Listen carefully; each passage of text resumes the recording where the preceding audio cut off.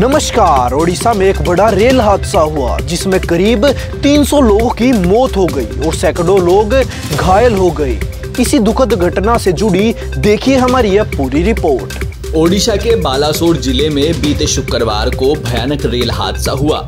हादसा इतना भयंकर था कि ट्रेन की बोगियाँ पूरी तरह पलट गई। खबर के मुताबिक बालासोर के बहनागा बाज़ार स्टेशन के पास शालीमार चेन्नई कोरोमंडल एक्सप्रेस, बेंगलुरु हावड़ा एक्सप्रेस समेत एक मालगाड़ी आपस में टकरा गई। इस भयंकर रेल दुर्घटना में दो जाने जा चुकी हैं। वहीं सैकड़ों लोग घायल बताए जा रहे हैं, जबकि कुछ लोगों का अता पता ही नहीं है। एक रिपोर्ट के अनुसार बालासोर के बहनागा बाज़ार स्टेशन स्टेशन के पास शाम करीब छह बजकर पचास मिनट पर Shalimar Chennai Coromandel express main line की बजाय लूप लाइन में घुस गई और वहाँ खड़ी मालगाड़ी से टकरा गई, जिससे कोरोमंडल एक्सप्रेस के 15 से 17 डब्बे पलट गए और इनमें कुछ डिब्बे बगल की ट्रैक पर बिखर गए। इसके बाद करीब शाम सात बजे Bengaluru Howrah superfast train track पर बिखरे कोरोमंडल ट्रेन के कोच से टकरा गई, जिससे हावड़ा सुपरफास्ट के कुछ डिब्बे पलट गए और ये भीषण रेल दुर्घटना हुई।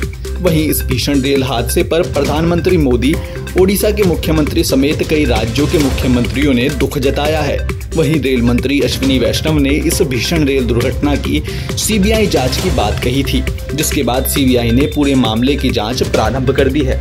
वैसे तो इस रेल दुर्घटना में जान गंवाने वाले लोगों को न्याय नहीं मिल सकता, परंतु सरकार को इस पूरे मामले की निष्पक्ष जाँच के साथ साथ इस भीषण दुर्घटना के जिम्मेदार लोगों को कड़ी से कड़ी सजा दिलानी चाहिए, जिससे भविष्य में ये रेल दुर्घटना कभी न हो।